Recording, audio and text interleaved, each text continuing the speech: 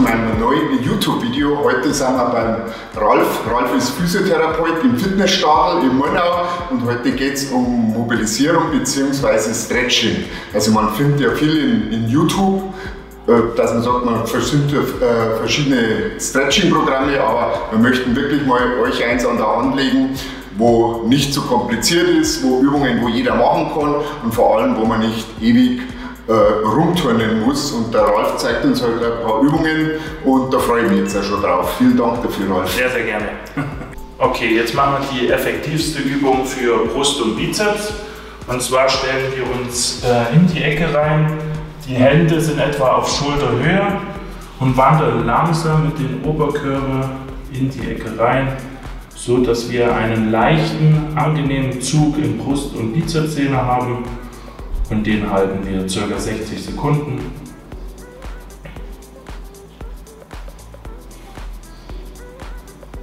Versuchen dabei die komplette Muskulatur zu entspannen, also auch Oberschenkel, Rückenmuskulatur entspannen. Und wenn wir merken, es wird ein bisschen weniger vom Dehnreiz, dann gehen wir nochmal nach.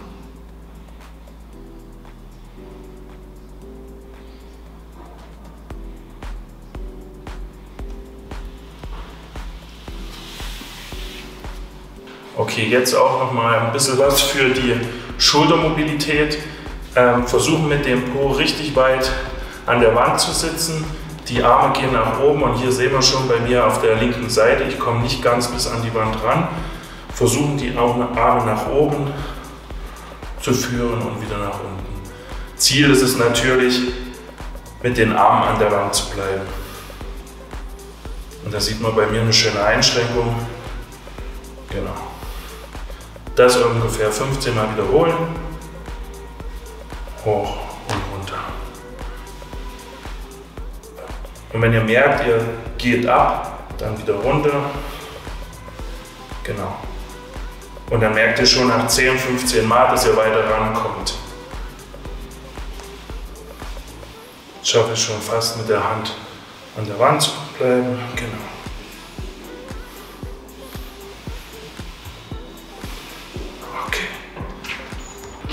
Okay, jetzt dehnen wir den Hüftbeuger. Ich nehme ganz gerne unter dem Fuß eine leichte Erhöhung, hier das Stepbrett. Die rechte Hand in dem Fall äh, eine Stütze, so bleibe ich schön in der Achse und kann mich voll auf die Dehnung konzentrieren. Versuche den Schub hier wirklich in den Hüftbeuger reinzusetzen. Hier bleibe ich drin, versuche mich immer noch mal zu korrigieren und wieder rein. Genau, Oberkörper nach hinten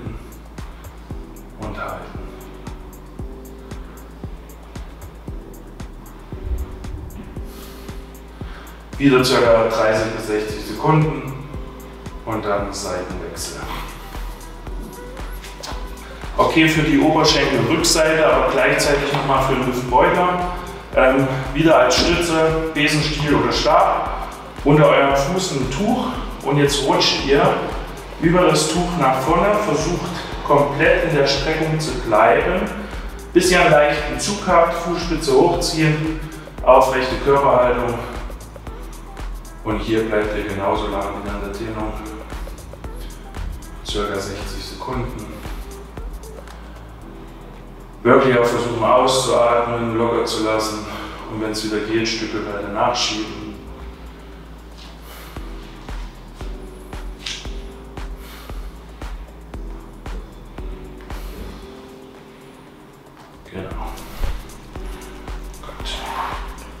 das rechte Sprunggelenk auf das linke Knie setzen, die linke Hand fest das rechte Knie komplett auf die Seite rumfallen lassen. Jetzt den Arm nach oben führen und mit der linken Hand das Knie nach unten ziehen und versuchen den rechten Arm abzulegen. Hier dehnen wir schön den Glut, die komplette Seite auch Brust haben wir wieder mit dabei.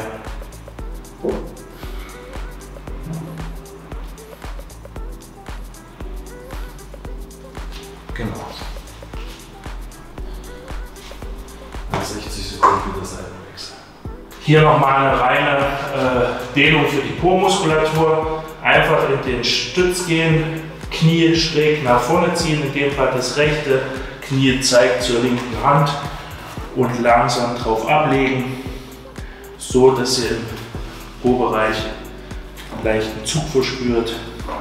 Und hier auch wieder circa 60 Sekunden halten, versuchen zu entspannen und lösen.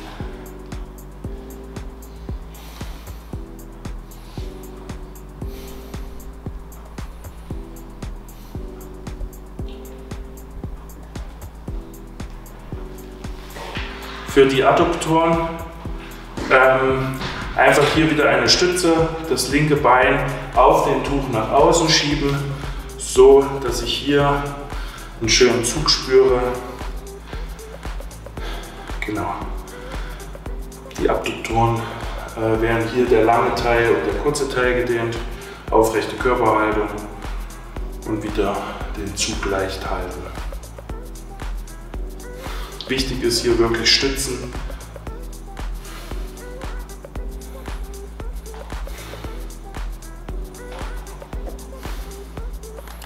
Und ein bisschen weitergehen, wenn der Zug nachlässt.